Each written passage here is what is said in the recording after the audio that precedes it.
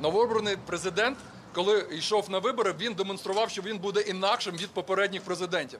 Але натомість ми бачимо таке саме зухвале ставлення до е, чинної конституції і сумний приклад того, як е, президенти, попередні президенти гвалтували конституцію, і чим це для них закінчилось, має стати найкращим уроком для е, новообраного президента Зеленського, який з перших днів своєї перебування на посаді очевидно порушує і норми конституції, і законодавства. По-перше, не тільки гвалтуючи вже конституцію, але й призначаючи чиновників з грубим порушенням чинного законодавства.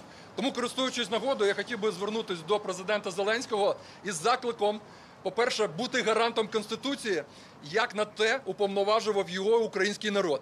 По-друге, бути не тільки гарантом конституції, а насамперед гарантом українському народові, що Україна буде залишатись країною вільних можливостей і країною, де верховенство права буде кожним для кожного від пересічного українця до чиновників найвищої ланки. Саме для того його обирали як чиновника найвищої категорії, який би демонстрував, що Україна здатна змінюватись. Натомість ми сьогодні бачимо абсолютно заангажоване ставлення до конституції, до законів, намагання їх е, використовувати на власний розсуд.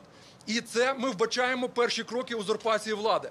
Все це треба припиняти в зародиші, тому що це стає незворотнім, незворотнім у системі прийняття рішень. І тому Володимиру Зеленському треба схаменутись, схаменутись і зрозуміти, що висока довіра українського народу, якою він сьогодні так пишається, може обернутись стрімким занепадом довіри. Схаменіться, станьте гарантом Конституції, станьте українцем, який здатен бути людиною викликом, викликом, стар- старої системи, а не стати частиною старої корумпованої системи і обслуговувати олігархічні хотілки.